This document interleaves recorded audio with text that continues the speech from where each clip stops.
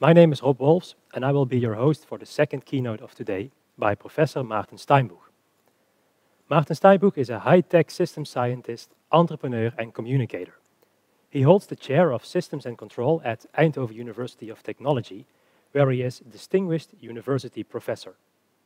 His research spans from automotive engineering, with a focus on connected cars and clean vehicles, to mechatronics, motion control, and fusion plasma control.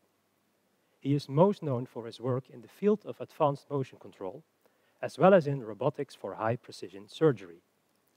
Steinbuch is a prolific blogger, a key opinion leader on the influences of new technologies on society, and he is also a well-known advocate of electric vehicles.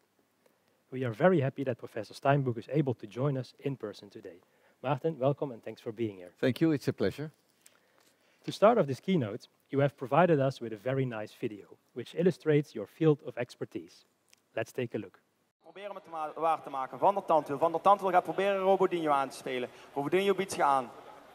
Zong J opletten. Zong J let helemaal niet op. Wat zeg ik? Robodinho aan de bal. En dan gaan ze proberen hier weer in de aanval. En dan is het, ja, heel goed. Nou draaien. Open doel. Robodinho. Oh, van der Tandwiel. Van der Tandwiel. Van der Tandwiel probeert twee, drie man verdediging langs. Eén man, twee man kwijt. Nu nog eentje. Van der Tandwiel. Van der Tandwiel.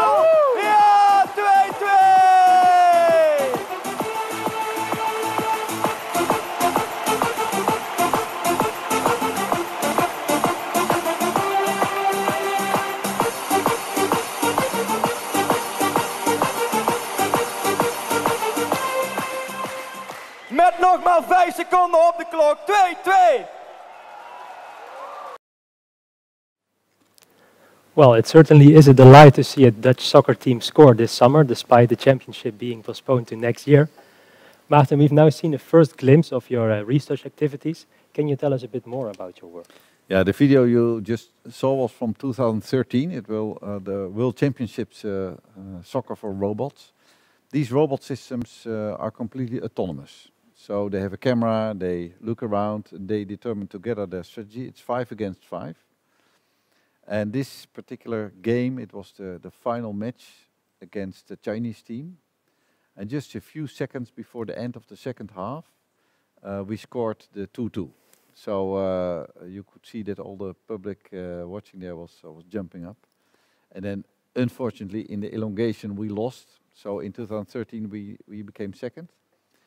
But in 14 and 16 and 18 and 19, we became world champion in this uh, soccer playing game. So currently, we are still world champion in soccer, doing much better than the the human The team of the team. Netherlands. Yeah.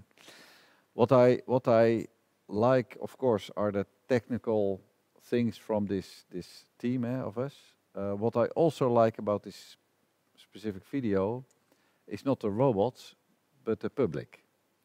And and it is like you you are watching a real humanoid uh, game. That's that's really amazing. If you sit there with, we were sitting there with 5,000 people, grandparents, parents, children, and we were shouting to the robots, uh, "Shoot, shoot!" And they did not react to us, of course, but still.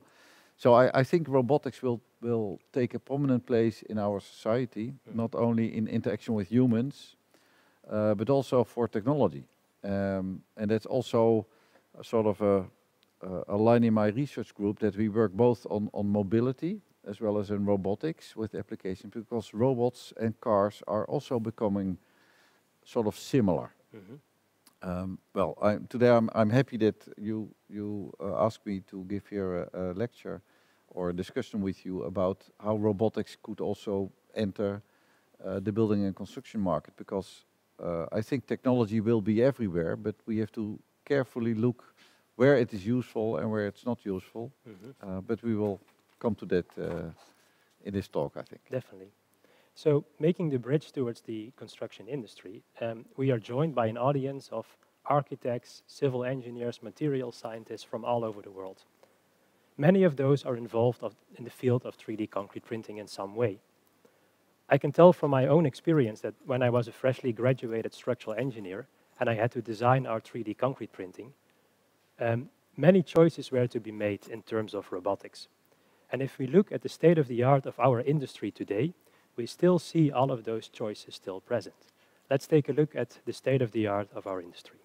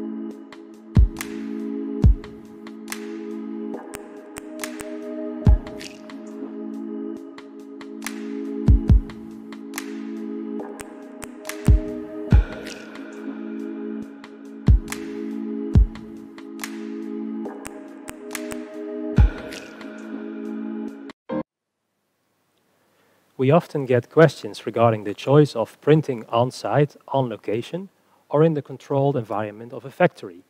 Likewise, just like we've seen now, we see variations of gantry systems and industrial robot arms. Maarten, can you reflect on these choices based on your expertise? Well, uh, I think the, the, the most beautiful parallel is with, with industrial automation. Eh? For instance, the automotive industry, it utilizes typical industrial robots like the, the last one we have seen for outdoors usage.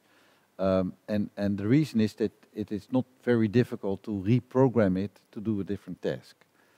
Um, gantries are also used, of course, they are relatively lightweight, so I think the productivity is can be higher with such an arm because you, you can really design the, the gantry like a lightweight structure. Uh, but it's, it, it might, might take a lot of time to set it up. So that's why I think for on-site, uh, you might expect that you will get more the industrial type of arm system, the, the, mm -hmm. the stacked systems. Uh, the whole ball game, of course, is accuracy versus speed and productivity. And I think that that is where 3D printing maybe maybe seem to promise a lot, but in practice it is quite difficult to find the right business case because it is taking a lot of time to put each layer there Mm -hmm. And if you want to do that with a certain accuracy with a heavy robot arm, and it will be heavy because your your printing head is a heavy one in in in, in building and construction because yeah there is concrete and it's it's heavy. So how to get the right accuracy uh, in combination with high productivity? And high productivity means speed. Mm -hmm. And if you go to higher speeds, the accuracy uh, locally goes goes uh, down. It was very interesting in the last part of that movie to see the person, the human, uh, helping the mm-hmm. robot a little bit to to take some some material away. And of course, if if things are optimized in the future, I can imagine that that help is not anymore necessary because mm. you could argue if the business case is then not even worse. Right. Uh, but so the the whole ball game is accuracy versus productivity, hence cost. And then I expect that for outdoor usage, it, it is more and more, standard to, to use an, uh, an industrial type of robot. Mm -hmm. So an, an, ARM system robot. Right. Yeah. So in terms of printing on location, um, construction sites are typically very rough and uneven yeah. surfaces. Does that mean we have to do a lot of preparation work before we can move the robot outside? Well, I can imagine that that robot can simply put on a cart, on uh, like like uh, heavy uh, heavy duty uh, machinery. However, the key thing is, of course, to do the calibration. -hmm. because you have to know where the end effector actually is. So to do the calibration, you you might need some time, mm -hmm. uh, but I can imagine that that could be optimized also in practice. So once you install uh, the robot, you have to be very sure that where the robot is standing, it will keep at that position. Yeah. Because if that vehicle underneath the robot is going to move a few millimeters, you will directly, and you will not find it easy to measure that. So the, the calibration and the measurements to actually know where the printhead is compared to where you want it to be, mm -hmm. that's the key thing. So if you measure without errors, then you're in. Right, measurement is key. Measurement yeah. is key, yeah. Well, you could also argue that um, gantry robots have a bigger range because they are so large, but maybe a bit less degree of freedom. And the other way around, the industrial robot arms are smaller, but you know, they can make more complex shapes. So sometimes we see that uh, people put an industrial robot arm upside down on underneath the gantry or on top of a rail. Yeah. Is that then the best of both worlds? Well, sometimes it depends a little bit on the weight of the robot. Um, if the gantry is not designed uh, for such a heavy robot to be there, Mhm. then you have to be very cautious because you will get an error, of course, of the gantry itself, uh, depending on where the robot is uh, is fixed. So it could be it gives you more flexibility, of course, and you can can have a huge span. I, I think if the span requirement is large, then uh, you either have to move a robot arm uh, on a vehicle on the ground, or you have to, to use a gantry type of structure because otherwise you cannot have the reach. There are huge arms, by the way. The Mhm. biggest KUKA I know, I've seen it. It's huge, but it's also very heavy, very expensive, and uh, and, and and again, eh, because it's so large, it is very heavy.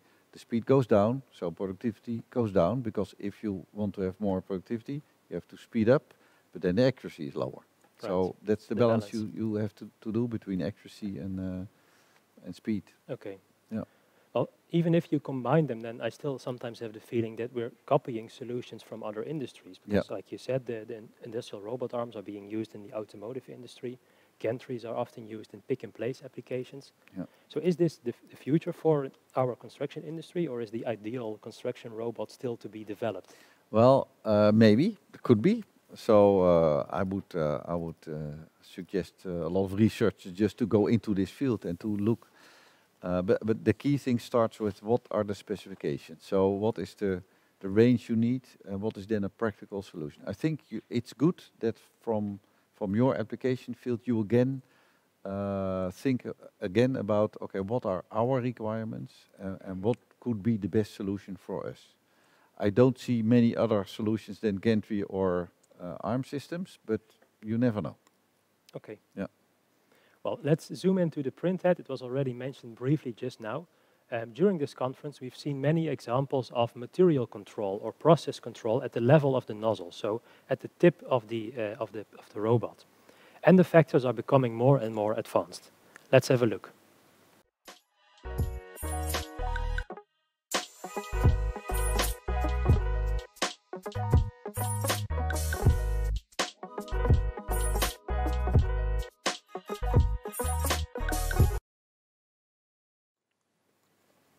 So from a material perspective, we want to have control as the latest possible moment. But as the nozzles in the printhead become uh, more complex, they also become heavier, and we need more active control. Uh, is there a limit to this development? Well, I think for every application there are of course limits. Um, uh, most important is to think about the measurement system. Again, eh, you want to have accuracy of the printhead, so you have to measure accurately where it is. It's not relevant what the position is of the, the, the shoulder, Mhm. uh, it's relevant where the end effector is. So the more heavy the end effector is, the more heavy the whole chain of the robot should be. And, and that's doable. You get increased stiffness of the whole structure. However, the mass go up, that means that your speed goes down, and hence your productivity goes down. So Mhm. that's, that's the balance you have to make. But again, if you can measure, for instance, by optical means, using laser uh, techniques, to measure where you actually are, yeah, then you can, if, if you move slowly enough, you can compensate for a lot of dynamics and, and, and weight. You can compensate via your, your accurate uh, measurements of the end effector. Yeah. Okay. So um, as these systems become complex, I, I know that in current practice, most people write their own slicing software, so they program the, the, the robot beforehand. But if we need more and more active control and, um, and corrections maybe online, uh, that means that we probably cannot predefine these codes anymore. So do we have to move to, to self-learning autonomous systems in our field as well? Well, I would I would get this structure a little bit out of each other. So suppose that you want that you know what your reference trajectory is of the tip, then of course there are standard local loops which make your robot actually perform that task. And, and in addition, if you measure your end effector, you can use active controls to actually make sure that your robot is doing the right actions to follow that trajectory. So I would call that the local robot controls. And the Mhm. local uh, robot controls are are standard technology, I would say. That's standard control technology from robotics. Uh, but that's at the level, assuming that you know your reference trajectory. Your question basically is related to, okay, can we define uh, or can we think about methods to actually design the reference, which is a different question. Mm -hmm. I can imagine that uh, there will be an opportunity to actually learn from data. So once you have printed one, one, one meter or so, you can actually try to have measurements of the accuracy, uh, not only how did you follow the, the reference trajectory, but is the reference trajectory indeed the right one compared to the previous layer. And if you can measure uh, that deviation, you can give a correction on top of your reference trajectory. So it's, it's basically a hierarchical structure mm -hmm. where you mm-hmm. have the local control loops mm -hmm. and, and a larger loop, which is then um, designing your, your uh, reference trajectory. And yeah. especially this, this larger loop, is that still something that we can do as human operators, or might there even be a role for technologies like AI yeah, yeah. in our field? So I think data is, is crucial. There are a lot of um, um, uh, examples already where we uh, do these tricks, so to speak. So for instance, in our lab, we have a, uh, it's not a concrete printer, but it's an ink printer mm -hmm. for uh, uh, one of the companies here in the region. It's uh, Océ, it's now bought by Canon they make industrial printers, so also to print surfaces like panels. Um, printing is basically also a, repetitive process. Um, and if you are making one, uh, one line of color printing and you do the next line, you can actually measure the devi deviation with compared to the previous line. Mm -hmm. And then you can start to learn from that data. And after a few iterations, you converge and, and we can make we can make perfect uh, shapes, printed shapes, which are far more accurate than the machine uh, by design could do, and simply by correcting the reference trajectory. And that's called uh, a technique, uh, um, iterative learning control. Uh, it's not simple AI-based data. We actually really use uh, models to make the convergence faster, because you don't right. want to throw away 10 prints before you actually have a better one. Mm -hmm. uh, we really want to convert really fast, and that's also what you need in yeah. in your uh, application field because you don't want to build 10 houses and then learn from that data, and mm -hmm. then the 11th house is then according mm -hmm. to spec. That's not what you want. So you're essentially merging uh, model-driven approaches, simulations with data-driven measurements. Exactly, exactly, and, and that's sort of a trend which you can see also in AI literature in general. Mm-hmm. That that that uh, the belief we have just in data and in algorithms uh, is, is, is limiting. Um, mm -hmm. and if you add models, you can have a much higher speed of, of right. learning, for instance. Yeah. yeah. And also confidence in what your algorithms actually deliver and, and confidence about what your technology in fact is doing is also uh, very important. So we, we call that uh, explainable AI. That's mm -hmm. one of mm-hmm. the things uh, we are -hmm. also working on. Yeah.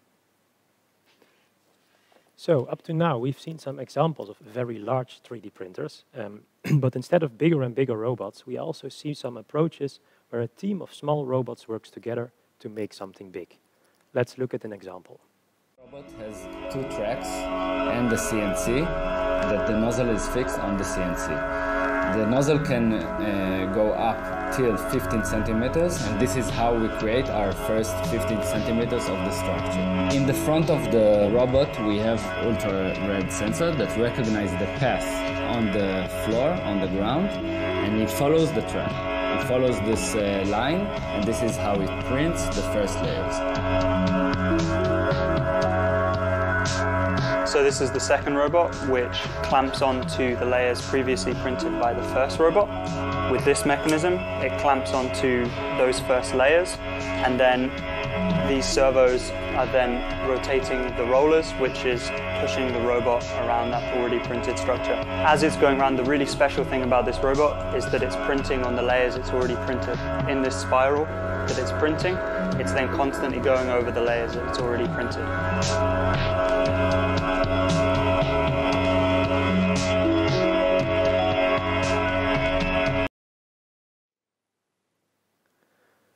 Unfortunately, we didn't have time to show the third robot in this system, but it's actually a vacuum robot that is put perpendicular to the other layers. But Well, this seems like a first step towards 3D printing robots that can play soccer in their lunch break. Yeah.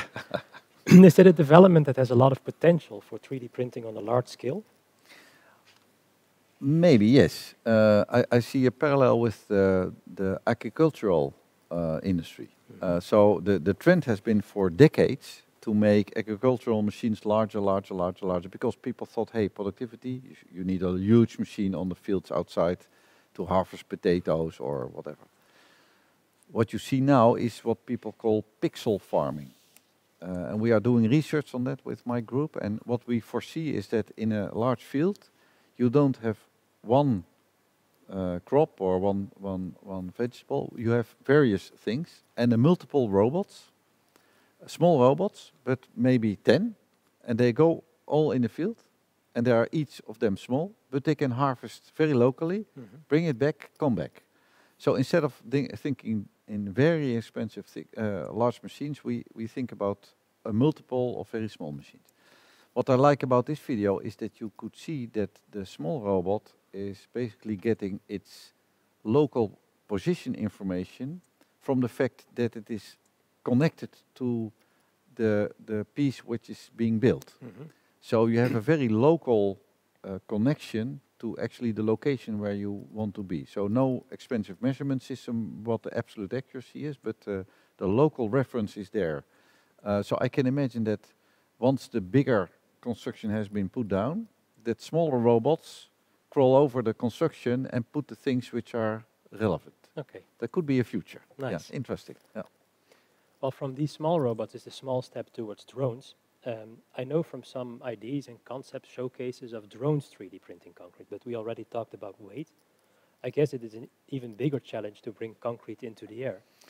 Is there a potential for drones in the construction industry? Uh, there's always potential, but for the moment, I see drones more relevant in the inspection industry and maybe the small maintenance and repair Mhm. Uh, in the building industry, and and not to carry uh, concrete because I mean carrying a load of a camera is already uh, uh, a lot for a drone, and it's not impossible for a drone to carry a load, but the problem is that the battery is depleting Drains, yeah. faster, and um, and and that might that might uh, endanger also uh, uh, the productivity of a drone Mhm. because if it every time has to go back and charge batteries or whatever. Um, so I, I doubt about really applications like like uh, utilizing uh, printing heads. However, I think the for the maintenance and, and repair business, especially repair, is interesting eh? because then you need uh, sometimes just small amounts of material, Mhm. and I can imagine that drones might also help there. Mm, Reach hard to reach places and so on. Yeah, Yeah. yeah, Okay. exactly. Yeah.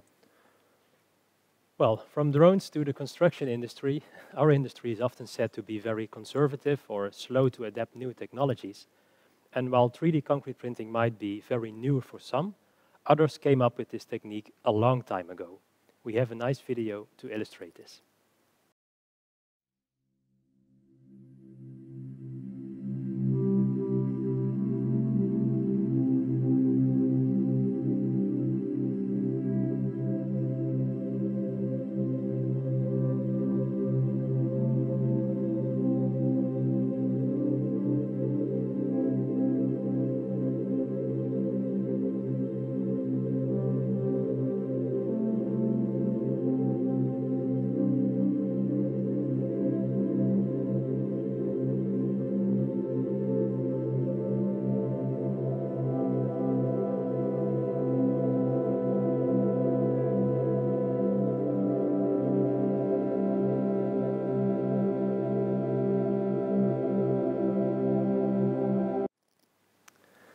Of course, back then robots were not yet widely available or available at all, but still you could say that it took quite some time for these machines to find their way into our construction industry.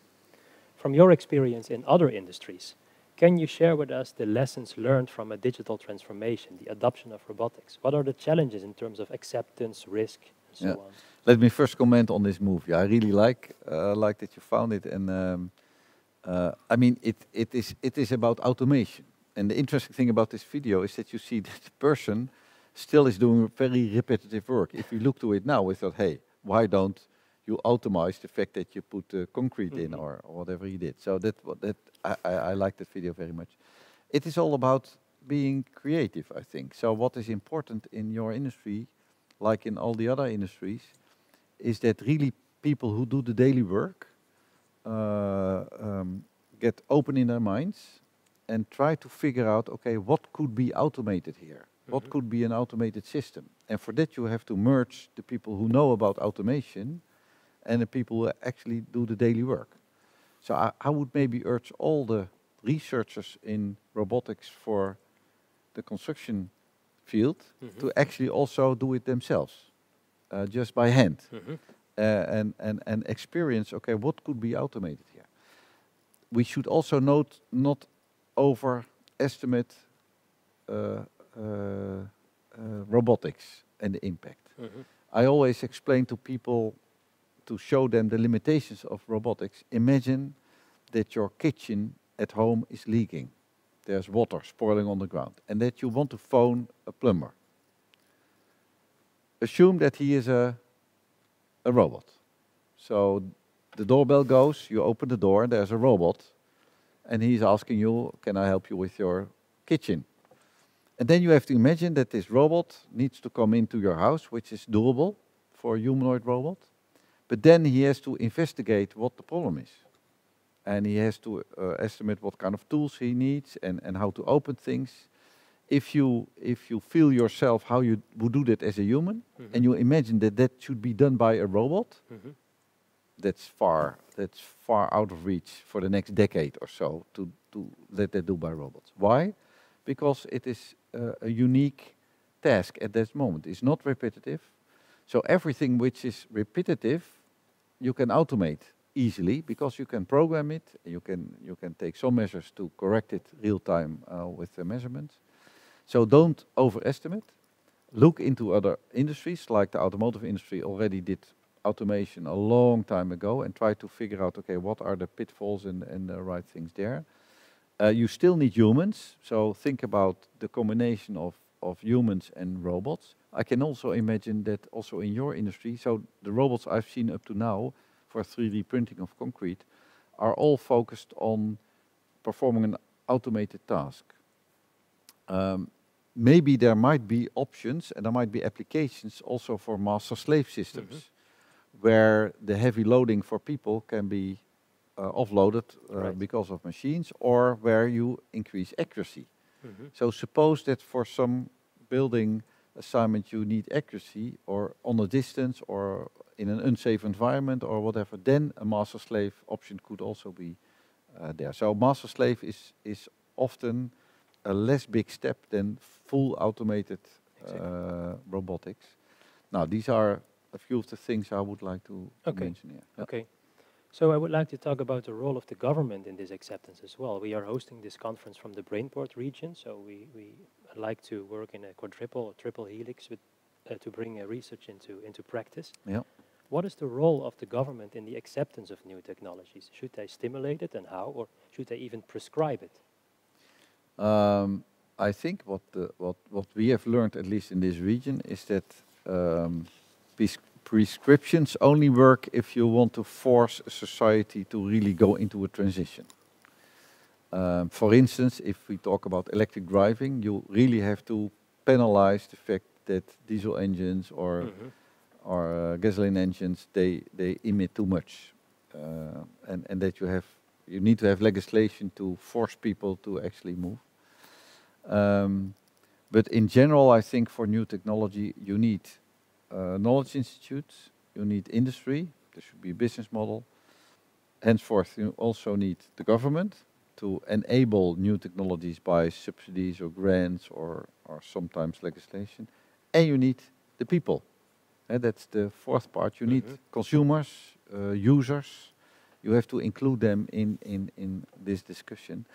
And then, uh, if you all are convinced that the direction is the right one, then you should you should make a, a strategy together and then execute. That, that's what we basically do in this uh, in this Eindhoven Brainport region, with a lot of uh, dossiers in in healthcare, in energy, Mhm. and mobility. All the relevant things nowadays, we address them via this combination of knowledge institutes, industries, government, and the consumer. Exactly. Yeah. Okay. Um, and when we talk about a time frame of, of acceptance and, and, and this transition, uh, maybe to make a reference to, to your own field of expertise, when did you start working on topics like autonomous cars and so on? And Okay. how long do you think it will take before these are everywhere? So, Yeah. what time frame are we still starting on? Yeah, uh, uh, I think that uh, that if you show from your field of application, if you show beautiful examples, Mhm. that already helps a lot. I've seen beautiful examples here from from your group. Uh, the, the, the, you have to do different things, uh, I think, than standard. If you print a standard rectangular building, uh, it might be, or it might be not a good business case, but then it is not appealing for others to actually convey the message that with 3D printing technique you can do different things. So I would I would urge you all to be very creative and, and, and, and design new type of shapes, Mhm. but also maybe new types of combinations uh, Mhm. of, of material. So multi-material printing, uh, integrated uh, smart things into walls, Mhm. uh, etc. So showcase, make make nice showcases, uh, and and tell the story. So don't stay too long into your own bubble, so to speak, Mhm. but go out, uh, utilize social media to convince people. Yeah, I think that's a very important message also to the audience watching us today. Um, in the final uh, final moments of this keynote, I would like to go back to your field of expertise. Um, you could say our industry is still lagging behind a bit, so it can be very insightful to see what the state of the art of robotics and mechatronic research is about today. And for that, you have provided us with another video. Preceyes Medical Robotics has developed an innovative system to assist surgeons performing vitreoretinal eye surgery. Eye surgery requires incredible precision at the limit of what is possible by hand. Highly experienced surgeons manipulate tiny instruments inside the eye. But with anatomical structures of only a few micrometers, higher precision would be beneficial. Preceyes employs state-of-the-art robotic technology to obtain this higher precision. The system is designed to integrate smoothly at the operating table and can easily be included or excluded during surgery. To preserve patient contact at all times, the surgeon continues conventional operation with one hand while operating the system with his other hand. Extremely high precision is achieved by downscaling movements and by filtering out the surgeon's hand tremors. Control of the system is intuitive, facilitating easy positioning of surgical instruments. So, what are we looking at here? Is this a development towards completely autonomous surgery? No, this is not an autonomous robot. This is a, a master-slave robot. Basically, it's minimal invasive surgery, in this case for an eye application. Uh, you could recognize similar elements like the robots you are using in 3D printing. Nam- namely, you have an end effector, which is then inside your eye, and there's a robot arm uh, having that, that needle which is sticking inside your eye. However, in this case, we have a human with a master device which is steering that, that robot slave.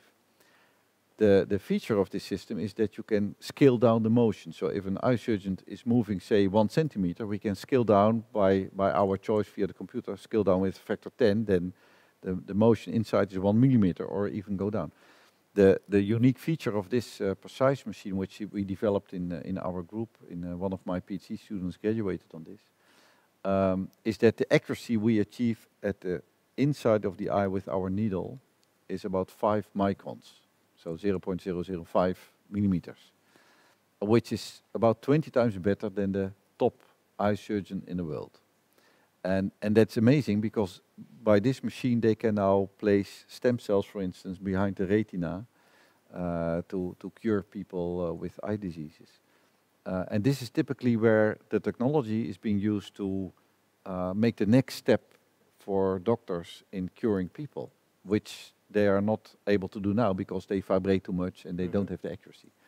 So I think that for every application field, you have to think about, okay, what in our field we, we really can do differently because there is technology. A- and then you can also start to develop the technology so as to really help that specific application uh, one step further. Yeah. Okay, thanks. I've been really enjoying our discussion so far, but in the meantime, I see a lot of questions have came in via the chat, so I would just like to raise a few of them to you to, to reflect upon.